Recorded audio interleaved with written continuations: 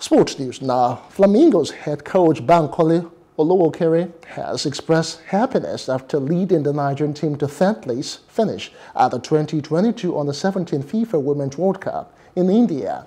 Despite surrendering a 3-0 lead against Germany in Sunday's third-place match, the Flamingos went on to win 3-2 in penalties.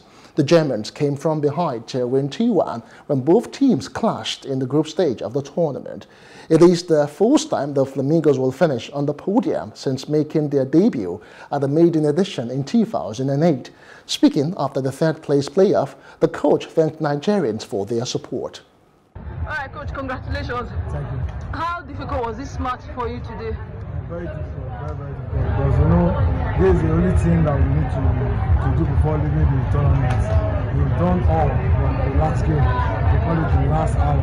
So that's what we came into the game with. Uh, knowing fully that our opponents are very tough uh, opponents. They give, give us a good fight and it's, it's good for, for final like this. All right, at that moment, Germany equalized and the time was already going. It was heading to penalties. What was running through your mind? Uh, first of all, I'm still um,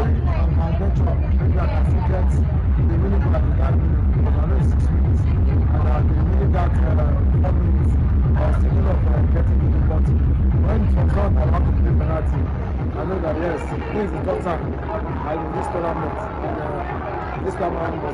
So that's why um, I go after some and uh, sure I did do a lot of uh, motivation for, the, guys. All right, how was your way? A message to Nigerians.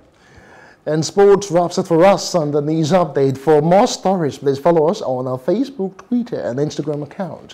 And do subscribe to our YouTube channel at Plus TV Africa and Plus TV African Lifestyle. You can also view us from Limex and www.limex.tv and Glow TV apps anywhere in the world. I am Justin Akadonyi. Many thanks for watching.